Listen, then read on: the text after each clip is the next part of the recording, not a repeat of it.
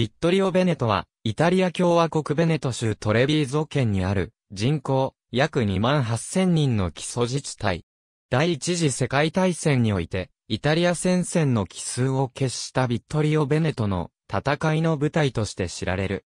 この戦いでのイタリア王国の勝利を記念し、イタリア国内の多くの街路や広場に、ビットリオ・ベネトの名が付けられている。トレビーゾ県の北部に所在する。ベルーノから南南東へ約 19km、ポルデノーネから西へ約 27km、ケント・トレビーゾから北北東へ約 35km、シュート・ベネツィアから北へ約 60km の距離にある。ベネツィアプレアルプス山脈の南麓にあたり、ピアーベ川流域のベルルーノ県中心部と、ベネツィア平野とを結ぶファダルと、峠越えの交通路の南側の出口にあたる。この交通路がアレマーニャ街道と呼ばれている通り、古来よりイタリアと北方のドイツ語圏とを結ぶ、交通の要衝であった。現在も、ベネツィアとベルルーノとを結ぶ高速道路 A27 や鉄道路線がこの峠を越えている。トレビーゾ県大略図隣接コムーネ隣接するコムーネは以下の通り。括弧内の BL はベルーノ県所属を示す。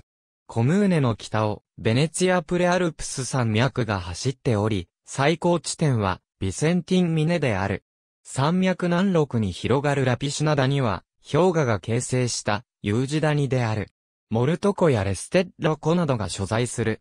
ビセンティンミネからラピシュナ谷を挟んだ、コムーネ北東部には、ミリフレット山がある。ラピシュナ谷の奥、コムーネ北端にある、ファダルト峠を北に越えれば、サンタクローチェコ湖畔を経由して、ポンテネッレアルピに至る。ビットリオ・ベネトの中心地区には、リベンツァ川の支流のメスキオ川が町を横切っている。ビットリオ・ベネトの中心市街は、地域南部に位置する。チェネーダと、その北にあるセラバッレという二つの町が合わさって、形成されている。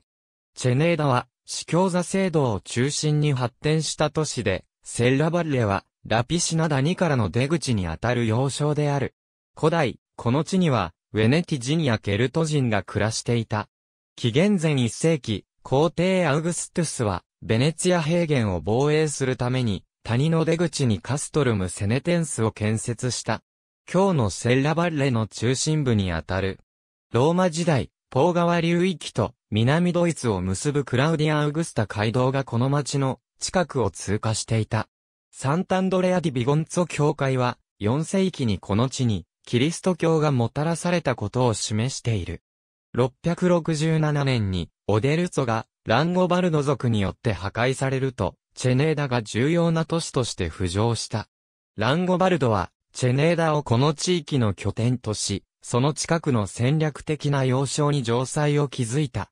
現在も町を見下ろすサンマルティーノ城である。685年、ランゴバルドをグリモワルドは、オデルツォ教区を分け、チェネーダ教区を編成した。領主の城と同じ高さの場所に聖堂が建設された。教区の守護聖人として、セーティツィアーノが選ばれた。774年、ランゴバルド王国が滅亡すると、フランク王国の支配下に置かれた。後にチビダーレやトレビーゾ、ビチェンツァで、ランゴバルド貴族の反乱が発生するが、チェネーダの領主は、カール大帝に対する忠誠を保ったようである。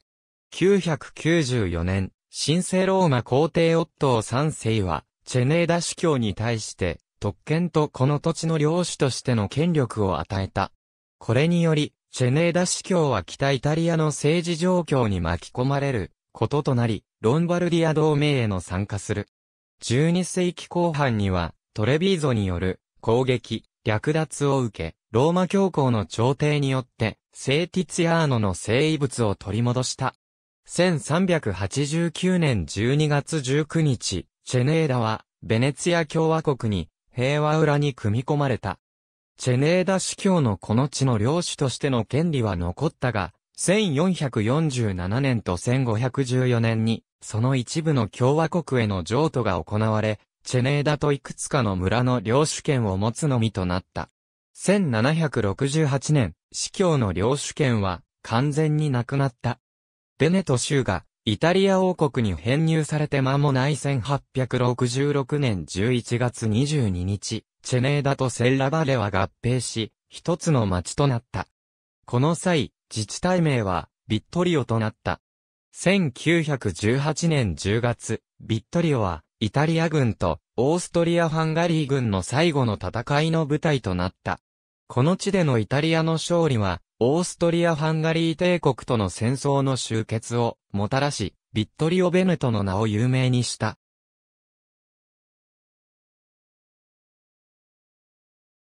1923年に正式にベネトが加えられ、自治体名はビットリオ・ベネトになった。なお、イタリア王国の戦勝を記念し、イタリア国内の多くの通りに、ビットリオ・ベネトの名が付けられている。人口水位、ビットリオ・ベネト駅。ありがとうございます。